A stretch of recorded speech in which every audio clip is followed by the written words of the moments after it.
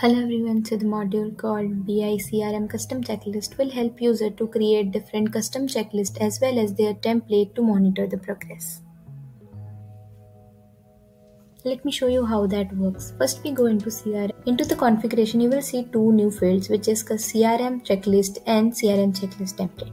First we go into CRM checklist. As you can see I've created different different checklist over here.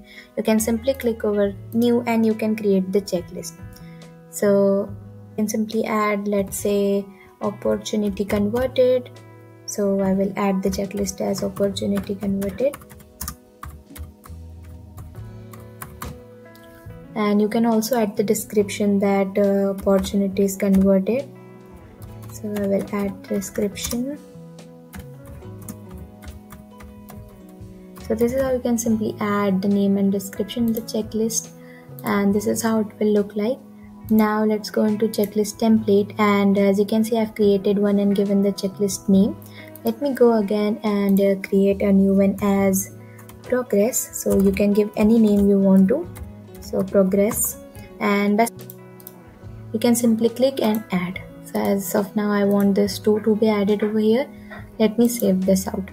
Now let's go into sales and my pipeline and check how it works so as you can see, this is how the checklist progress will look like in the Kanban view. It will look like in the list view as well. As you can see in the checklist progress, it will look like this as uh, there is no progress done, it is showing zero. So now let's go and quickly create a new one. So new, I will name it as new and uh, here I will add the checklist. So by simply clicking, you can add the checklist template and along with that, the checklist will generate. So as I have selected these these these this will generate. So as of now I want only this two to be here only this one template. I can simply monitor. You need to save it out and you can simply click like the mail is sent. So by sim by simply clicking over complete or cancel you will get the progress.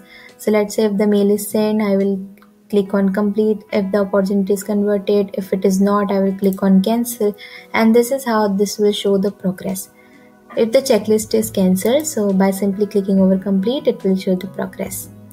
The same will happen in the my activities as well. As you can see in the checklist you can add which one you want to add and you can simply monitor the progress. So this is how this will look like in the list view as well as in the Kanban view. So you can get the idea also, when you go into this filters, you will see that CRM checklist completed and uncompleted. So by simply clicking on completed, you will get all the progress and by simply clicking over uncompleted, you will get all the uncompleted checklist progress. So as you can see, this all are incomplete. So with this filter also, you can monitor which progress is done or not, completed or not.